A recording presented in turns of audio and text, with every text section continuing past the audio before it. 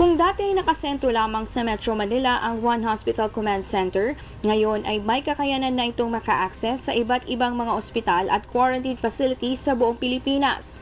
Ang dating apat na po na manpower, ngayon mahigit na sa isang daan ng kanilang mga tauhan natatanggap ng mga tawag at mag-asikaso ng pakikipag-ugnayan sa mga pasyente.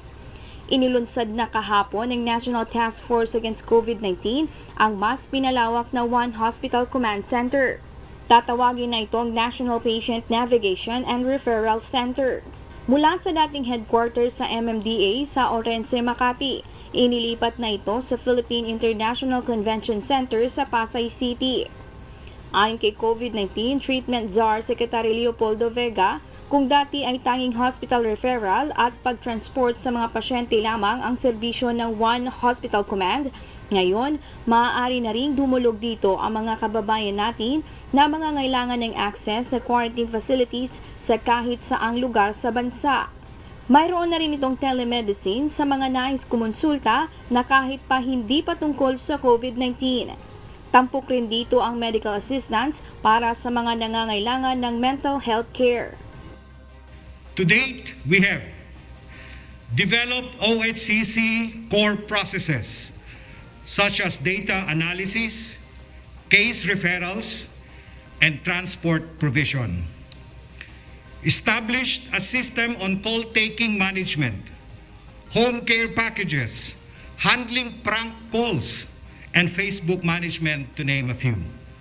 Ang mahigit sa isang daang tauhan ng One Hospital Command Center ay binubuo ng mga doktor, medical coordinator, IT staff at call agents.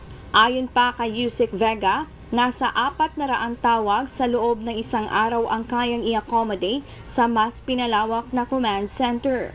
Bukod sa pagdaragdag ng mga staff, dinagdagan na rin at nagkaroon ng upgrade sa kanilang mga equipment at iba pang gamit para sa komunikasyon.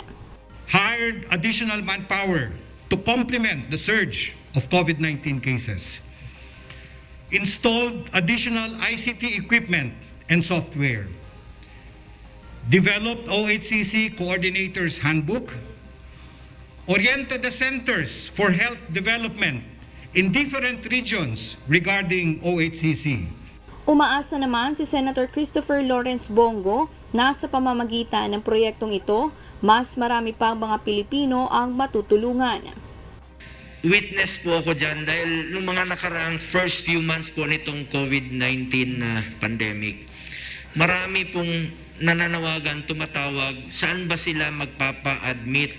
Kawawa naman po. Ngayon, meron na tayong isang uh, command center na nakatutok po sa kanila This marks another milestone on the government's relentless efforts in providing fast, efficient, and unified COVID-19 response.